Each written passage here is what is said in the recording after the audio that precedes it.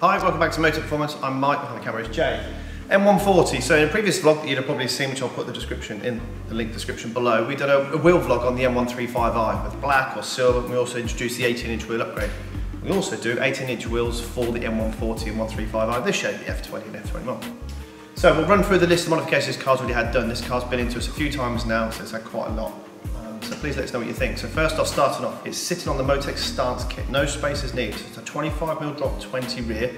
As you can see, we fitted the Bola wheels. No spaces needed on 8.5J front and rear. Use the original tyre size, original TPMS valves, so no lights on the dashboard.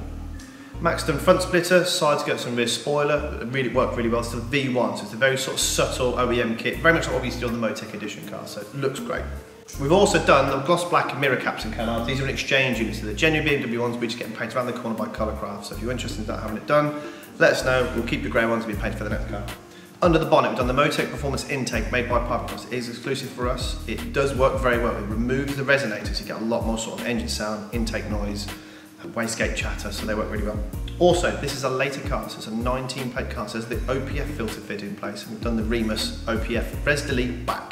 So it keeps the OPF filter in place, which is about the driver's seat, so from there on back it's all custom. So Remus rear box, centre pipe delete, and obviously with our exclusive black tailpipes and also to complement at the back we've done the Reiger rear and also black M140 badges on the sides and on the rear as well. So lots been done on this car. I think there's still more to come. I think it's all about EBC pads and discs, front and rear neck, strut bracing, uh, possibly a tune as well. But let us know what you think of this uh, lovely, I have to say really, really nice M140. Thanks for watching.